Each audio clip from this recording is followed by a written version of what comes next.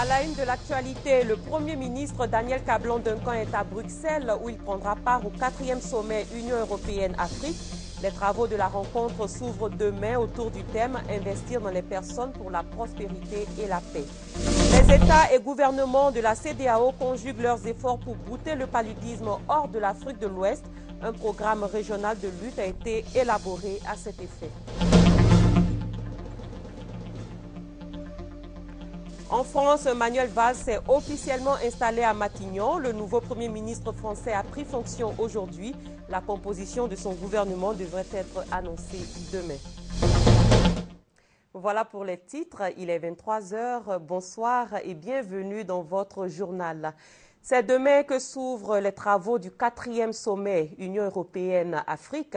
Le Premier ministre Daniel Cablon-Duncan est à Bruxelles pour prendre part à cette rencontre dont le thème est Investir dans les personnes pour la prospérité et la paix.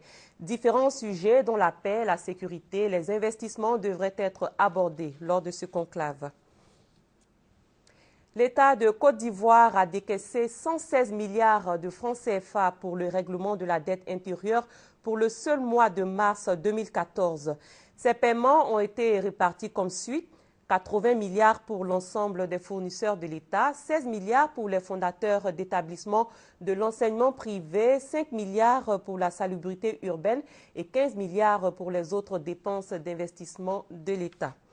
Une autre information, le CPC le Centre de promotion des investissements en Côte d'Ivoire entend faciliter la création d'entreprises en un temps record d'une heure grâce au e-business. L'annonce a été faite par Essis Esmel, directeur général du CPC. C'était à la faveur de la cérémonie d'ouverture de la caravane Entreprendre en Côte d'Ivoire tenue hier.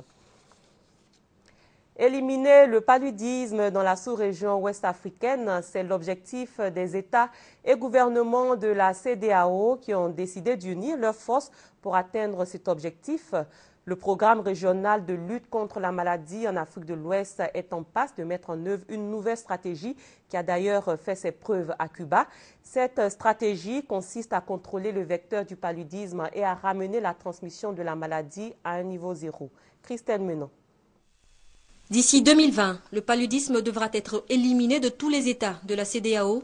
C'est une des priorités des chefs d'État et de gouvernement de la communauté économique qui a déclaré la guerre à ce fléau en juillet 2011 à Accra. Une nouvelle stratégie d'élimination a été présentée lors d'un atelier régional de sensibilisation. Elle repose essentiellement sur le renforcement de la lutte contre le principal vecteur du palud, à savoir le moustique. Il s'agit de détruire toutes les larves de moustiques par la pulvérisation de biolarvicides dans les sites infestés. L'application sera simultanée dans tous les États et démarrera le 28 mai prochain avec l'implication des forces armées. Les biolarvicides, il faut savoir que c'est un produit qui permet d'éliminer les larves de moustiques dans les rigoles. Donc c'est une politique d'assainissement de, de l'environnement en Côte d'Ivoire qui va être engagée. Nous savons que les grandes endémies ont été contrôlées avec le, le concours de l'armée qui a accès à tous les endroits possibles et dans toutes les concessions possibles. L'environnement dans lequel on vit est très important. Il faut attaquer le moustique quand il est à l'état de, larve. Et pour ça, il faudrait qu'on détruise les gîtes larvaires. Et ce qui appelle à l'intervention de tout un chacun, que chacun nettoie son environnement.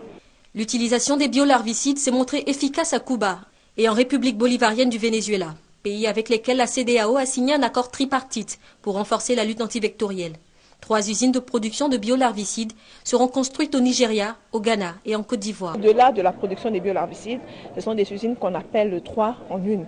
Ça fait les biolarvicides, ça pourra faire les biopesticides et les biofertilisants. On produit par nous-mêmes et on applique par nous-mêmes pour arriver à, renforcer les efforts des différents partenaires déjà en cours, la distribution des moustiquaires, les traitements, pour nous assurer qu'on met tout ensemble pour arriver à vaincre ce fléau. Cette stratégie de contrôle du vecteur représente donc un avantage, surtout en termes de développement. Quand on sait, selon les économistes, que le paludisme est à l'origine d'un déficit de croissance annuel pouvant atteindre 1,3% dans certains pays d'Afrique.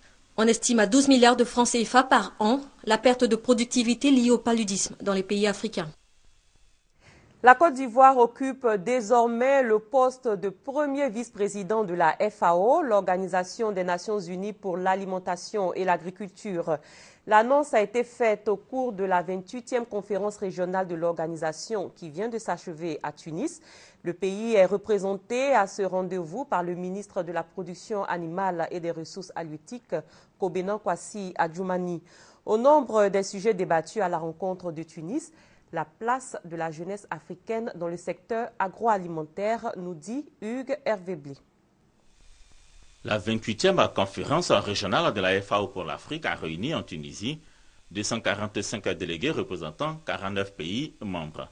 Les 38 ministres et vice-ministres ont, avec l'ensemble des autres participants, abordé, entre autres questions, celles relatives à l'implication de la jeunesse africaine dans le secteur agroalimentaire et le développement rural et à l'exécution du programme détaillé pour le développement de l'agriculture africaine.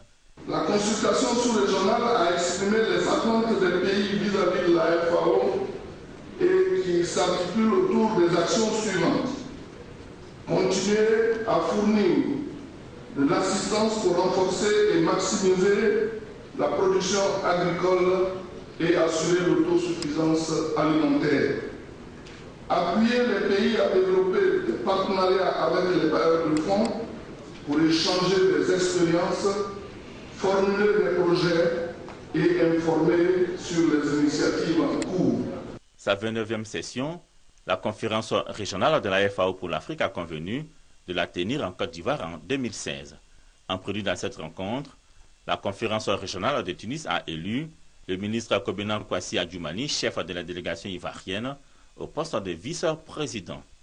L'organisation de la session d'Abidjan a été évoquée au cours de l'audience que le ministre Kobenan Kwasi a eue avec le directeur général de la FAO, José Graziano da Silva. L'occasion pour le ministre ivoirien d'exprimer les remerciements de la Côte d'Ivoire à l'organisation onusienne pour son appui au développement de son secteur agricole. Et en bref, la présidence du Conseil des ministres de l'Association africaine des producteurs de pétrole sera assurée par la Côte d'Ivoire pour l'année 2016-2017. La décision a été prise hier à Malabo, en Guinée équatoriale. C'était au cours d'une rencontre bilan de cette association des producteurs de pétrole. Ce conseil a décidé de la tenue d'une session extraordinaire du Conseil des ministres ici à Abidjan avant la fin de l'année 2014. À Malabo, la Côte d'Ivoire était représentée par le ministre du Pétrole et de l'Énergie, Adama Tunkara. Le collectif pour la réunification des syndicats de transporteurs de Côte d'Ivoire adhère au projet de réforme de son ministère de tutelle. Il l'a fait savoir récemment au cours d'une rencontre à son siège à Djamé. Le collectif s'engage à accompagner le ministre Gaussou Touré dans la mise en œuvre de la réforme, réforme qui vise à assainir et à moderniser le secteur des transports en Côte d'Ivoire. Herman Yamien. Les transporteurs du collectif des syndicats de Côte d'Ivoire s'engagent à se mobiliser pour la réforme du secteur du transport routier. Ce que l'État veut de nous, c'est la réussite du transport. L'État aujourd'hui a décidé nous, de nous pousser. Pourquoi aller contre ça? Il faut qu'on soit ensemble. Je crois que c'est d'abord pour notre intérêt à nous-mêmes d'abord. Que tout le monde s'entend qu'il n'y aura pas de grève. Il va y avoir des transporteurs qui seront disponibles pour évacuer les, les citoyens dans leur travail et les accompagner à la maison. Il n'y a pas de grève jusqu'à nouvel ordre. On est là pour représenter tous les chargeurs. À en croire les opérateurs de ce secteur, la réforme va révolutionner les transports routiers tout en laissant entre autres le désordre, la corruption, les délais de délivrance des titres de transport trop longs pour s'inscrire dans la modernité et la transparence. Il n'y a pas quelqu'un qui n'a pas d'accord sur les réformes, parce que la gare se constitue les transporteurs, les chauffeurs, les, les chargeurs et les syndicats. La contrepartie, nous voulons que le gouvernement n'a qu'à nous aider parce qu'on a perdu beaucoup de véhicules lors des postes électoraux. Il n'a qu'à aider nous les transporteurs pour remplacer ces véhicules-là. Les transporteurs indiquent donc que la réforme offre au ministère des Transports les moyens techniques pour assurer pleinement la mission de contrôle, des suivis et des sanctions des acteurs du secteur. La création d'un conseil africain et malgache de l'enseignement supérieur privé dans l'espace francophone était récemment au centre d'une conférence à Bamako, au Mali. Il s'agit d'un cadre d'échange et de coopération entre les nombreuses universités et grandes écoles privées de l'espace subsaharien francophone. La Côte d'Ivoire était représentée à ce rendez-vous par une délégation composée de fondateurs de grandes écoles et d'acteurs du système éducatif ivoirien. Suivez ce reportage. Les problématiques de l'enseignement supérieur public des pays d'expression française d'Afrique et de Madagascar sont coordonnées par un organisme, le CAMES, Conseil africain et malgache pour l'enseignement supérieur. Ce n'est pas le cas pour les universités et grandes écoles privées de l'espace francophone. Le professeur Yahya Diaby, fondateur de ESIC Afrique, École supérieure d'information, de communication et de commerce 6 à en Côte d'Ivoire, veut changer la donne. Cette idée de création d'un CAMES, c'est-à-dire d'un Conseil africain et malgache de l'enseignement supérieur privé, puisse exister pour la promotion de l'enseignement supérieur privé dans notre région. Je pense qu'on en a besoin aujourd'hui. C'est vrai qu'il y a le CAMES, mais il est bon que nous ayons un conseil, euh, un organisme que euh, nous intègre pour que nous ayons la même vision pour la promotion qualitative de l'enseignement supérieur privé, des grandes écoles et des universités privées dans notre sous-région. Cette rencontre avec la presse a été également l'occasion pour le conférencier de présenter les opportunités qu'offre son école, les diplômes qui y sont délivrés et le partenariat entretenu avec des universités européennes. La deuxième édition des journées carrières s'est ouverte dans la région de San Pedro. La rencontre a duré trois jours et elle a réuni des structures d'éducation et de formation d'élèves, d'étudiants et de déscolarisés. Cette édition 2014 avait pour thème l'information en orientation scolaire, gage d'une insertion socio-professionnelle réussie. Le compte-rendu de Patricia Omoetia. Ouverture officielle des journées carrières à San Pedro plus de 2000 élèves réunis au centre culturel de la ville. Pour le service de l'orientation et des bourses, il faut guider les élèves à faire des choix adaptés au marché de l'emploi. Il y a beaucoup de BTS en communication. Il y a beaucoup de BTS en informatique. Ce que je fais comme formation initiale, est-ce que c'est ce que je vais avoir euh, en termes d'emploi lorsque je sors de l'école? La cérémonie est co-parrainée par les ministres de l'Emploi, des Affaires sociales et celui de l'Industrie et des Mines, Jean-Claude Brou.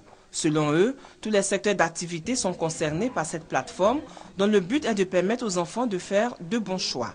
Aujourd'hui, sur le marché de l'emploi, les choix sont portés vers l'agriculture, l'énergie et les NTIC, indique Candia Camara.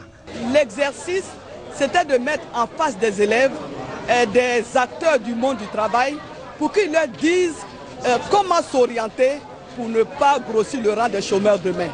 Euh, les études ont prouvé qu'en Côte d'Ivoire, il y a bien du travail, il y a du travail pour la jeunesse. Le tout, c'est de savoir s'orienter. La journée des carrières est une manifestation annuelle d'orientation et de conseil sur les études post-bac et les métiers. Des femmes leaders euh, formées à la sensibilisation à la lutte contre les armes légères. C'est une initiative de la Commission nationale de lutte contre la prolifération des armes légères et de petits calibres. Dans le cadre des activités visant à restaurer un environnement sécuritaire, la Comnat APLC exige la participation des populations, notamment celle de la gente féminine. La formation a eu lieu au plateau en présence de la coopération allemande. Gabriel Zani. Quel que soit le lieu où elles travaillent, les femmes sont exposées aux conséquences souvent irréversibles liées à la mauvaise manipulation des armes légères. Une grenade retrouvée par les enfants peut exploser à tout moment, tout comme une balle perdue peut avoir des effets irréparables. Amener les femmes à sensibiliser leur entourage sur la détention, la circulation et la manipulation des armes légères et de petit calibre paraît essentiel pour prévenir l'insécurité. Les femmes sont des mères, donc au niveau de l'éducation, elles peuvent déjà faire passer des, messages euh, d'éducation à la paix, à la non-violence, à la cohésion sociale. La Commission nationale de lutte contre la prolifération et la circulation illicite des armes légères et de petit calibre, comme Nat Alpc, a organisé ce lundi une table ronde à l'attention des femmes leaders pouvant influencer positivement le groupe de femmes qu'elles dirigent. Nous voulons véritablement vous associer quel que soit l'endroit où vous êtes, quelle que soit l'appartenance de votre ONG ou votre structure, nous disons que vous êtes à même de participer à cette lutte en sensibilisant vos époux, en sensibilisant vos enfants, en sensibilisant ceux qui sont dans votre communauté. Plusieurs associations de femmes ont assisté à la table ronde organisée en partie par la coopération allemande GIZ. Il sera aussi question au cours de cette rencontre de recueillir l'avis de ces femmes sur les stratégies de planification des opérations de sensibilisation. Le gouvernement ivoirien poursuit ses actions en faveur du retour en Côte d'Ivoire des Ivoiriens exilés au Libéria. La poursuite du processus de retour au pays a été confirmée au cours de la troisième réunion de la commission tripartite composée des représentants de la Côte d'Ivoire, du Libéria et du HCR, le Haut Commissariat pour les réfugiés des Nations Unies. Victorine Yaoyoboui. À ce jour, 60 000 Ivoiriens sont exilés dans la sous-région, dont 46 000 au Libéria. Le gouvernement ivoirien a donc décidé de concentrer ses efforts en direction du gouvernement libérien pour favoriser le rapatriement volontaire des Ivoiriens avec l'appui du HCR. La troisième réunion de suivi de la commission tripartite ici à Abidjan a permis d'aboutir à un compromis. Il est ainsi demandé au gouvernement libérien d'enregistrer toutes les naissances sur le sol libérien. Côté ivoirien, renforcer les dispositions pratiques visant à faciliter l'insertion des exilés, des élèves en particulier. Depuis le temps que l'exil dure au Libéria, nous sommes évertués à avoir les programmes scolaires ivoiriens enseignés encore au Libéria pour que ces enfants continuent à faire leurs études en français. Donc nous cherchons à voir dans quelle mesure leurs examens qui n'ont pas pu passer au Libéria puissent se faire ici. Donc on a l'assurance du ministère de l'Éducation nationale pour que ces enfants qui reviennent ne soient pas euh, laissés pour compte et qu'elles puissent continuer leur scolarité ici dans leur pays d'origine. Autrefois réfugié libérien en Côte d'Ivoire et aujourd'hui vice-ministre libérien des Affaires intérieures, Varney Serlif a expliqué que l'espoir est permis à condition que l'éducation des réfugiés soit une priorité. Les trois parties, à savoir la Côte d'Ivoire, le Libéria et le HCR, ont enfin convenu d'accélérer les opérations de rapatriement avant la saison des pluies, source de nombreux désagréments. Le collectif des victimes en Côte d'Ivoire se félicite du transfert de Charles Blégoudé à La Haye. Il a tenu aujourd'hui une conférence de presse à l'hôtel du district d'Abidjan. Le collectif entend participer aux procédures judiciaires initiées à l'encontre de l'ancien leader de la galaxie patriotique, transféré le 22 mars dernier vers un centre de détention de la Cour pénale internationale. Plus jamais d'impunité en Côte d'Ivoire. Le CVCI, le collectif des victimes en Côte d'Ivoire, applaudit le transfert le 22 mars dernier de Charles Blégoudé vers le centre de détention de la Haye. L'ex-chef des jeunes patriotes accusé de crimes contre l'humanité durant les violences de la crise post-électorale de 2010-2011 a comparu pour la première fois jeudi dernier devant la CPI. Pour les victimes, Charles Blégoudé a depuis son accession à la tête de la Fédération estudiantine et scolaire de Côte d'Ivoire jusqu'à la crise post-électorale en passant par les violences de 2000, ordonné et participé à des actes de violence commis par des milices qu'il a organisées et armées. Mes enfants ils sont au Nyangon. Ils ont parti trapper tous dans les maisons, cinq. Ils ont amené tous ces cinq là. Ils ont parti tuer le cimetière, euh, le Koba. Ils m'ont mis au billet chez moi. Ma femme est restée dedans, puis que mon petit, ma fille. Face à toutes ces accusations, le collectif des victimes en Côte d'Ivoire, dans sa lutte contre l'impunité, entend voir Charles Blégoudé répondre de tous ces actes de crime. Le collectif des victimes en Côte d'Ivoire, CVCI, demande à la Cour pénale internationale, CPI, de prendre en compte tous les crimes commis par Charles Blé Goudé depuis 2003, qui soulèvent la question du respect du droit fondamental de toutes les victimes. La Cour pénale internationale a fixé au 18 août prochain l'audience de confirmation des charges de Charles Blé. Pour l'heure, le CVCI réclame la justice et la réparation pour toutes les victimes, seule issue selon le collectif pour une réconciliation vraie et durable en Côte d'Ivoire. À l'étranger, au Kenya, une explosion à Isli, le quartier somalien de la capitale Nairobi, a fait hier six morts et plusieurs blessés. Et ce lundi, la police kenyane s'activait toujours à sécuriser la zone pour les services de secours. Devant l'hôpital Kenyatta, le balai des ambulances. Six morts, 25 blessés. C'est le bilan des trois attentats qui ont frappé lundi soir Isleg, le quartier somalien de Nairobi, appelé aussi le petit Mogadiscio. La plupart des blessés qu'on a admis sont stables, sauf un ou deux qui sont plus gravement touchés. Trois attaques quasi simultanées. Elles ont eu lieu en début de soirée à l'heure où les habitants du quartier rentraient chez eux. La cible, une clinique et deux restaurants. Grenades, engins artisanal, la police tente toujours de déterminer quel type d'explosif a été utilisé. On pense que ceux qui ont fait ça sont allés à l'intérieur avec des grenades ou alors, vu l'ampleur de l'attaque, une bombe artisanale. C'est ce que nous soupçonnons. 200 personnes ont été arrêtées, mais pour l'heure, aucune revendication. Par le passé, le petit Mogadiscio a déjà été la cible d'attaques systématiquement attribuées par la police aux islamistes extrémistes. Il est désormais installé à Matignon. En France, Manuel Valls a officiellement pris fonction à la tête du gouvernement. Il s'est entretenu une vingtaine de minutes avec son prédécesseur Jean-Marc Ayrault, Premier ministre depuis mai 2012. Jean-Marc Ayrault a été chaleureusement applaudi par le personnel réuni dans la cour, comme le veut la tradition. La composition du futur gouvernement français devait être annoncée demain. Parlons de la crise en Ukraine. La Russie n'a pas encore entamé le retrait de ses troupes de la frontière ukrainienne selon l'OTAN. Alors que Moscou maintient la pression, les Occidentaux se concertent. C'est la première visite d'un responsable de haut rang depuis que la Crimée est rattachée à la Russie. Le Premier ministre russe, Dimitri Medvedev, s'est offert un petit bain de foule à Sébastopol. Tout s'est bien passé. Je vous souhaite une bonne santé. Je salue votre peuple bien-aimé. On négocie pour Sébastopol. Moscou veut créer une zone économique spéciale en Crimée pour développer cette région. La Russie maintient la pression sur l'Ukraine. Kiev ne bénéficiera plus de rabais sur le prix du gaz. Gazprom augmente ses tarifs de 35%. Dans le même temps, Moscou fait un geste d'apaisement et affirme avoir retiré une partie des troupes militaires massées à la frontière ukrainienne. Pas de quoi rassurer les autorités de Kiev.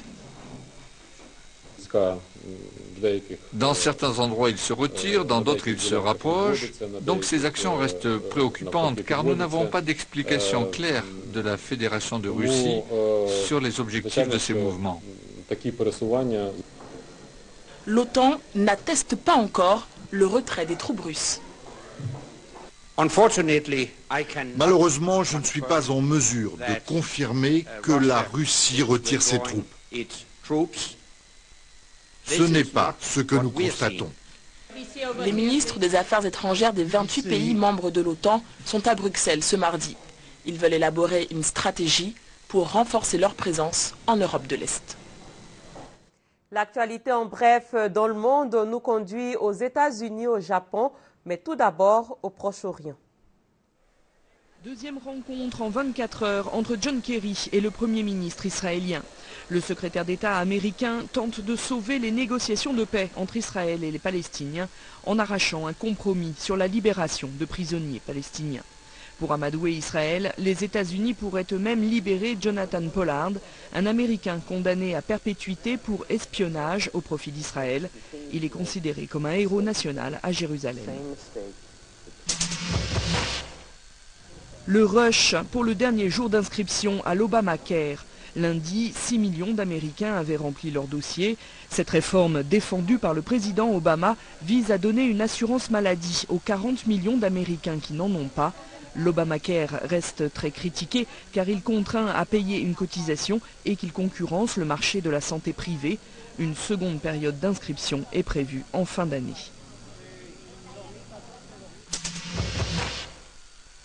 General Motors au cœur d'un scandale. Lundi, le constructeur américain a rappelé un million et demi de véhicules pour un problème lié à la direction assistée. Un rappel qui intervient alors que la directrice de General Motors doit être entendue par le Congrès mardi pour une autre affaire. Ces dix dernières années, la firme a vendu des millions de voitures avec une pièce défectueuse qui bloquait les airbags. Ce défaut est associé à une trentaine d'accidents qui ont tué 13 personnes. General Motors était informé, mais a continué la commercialisation des véhicules.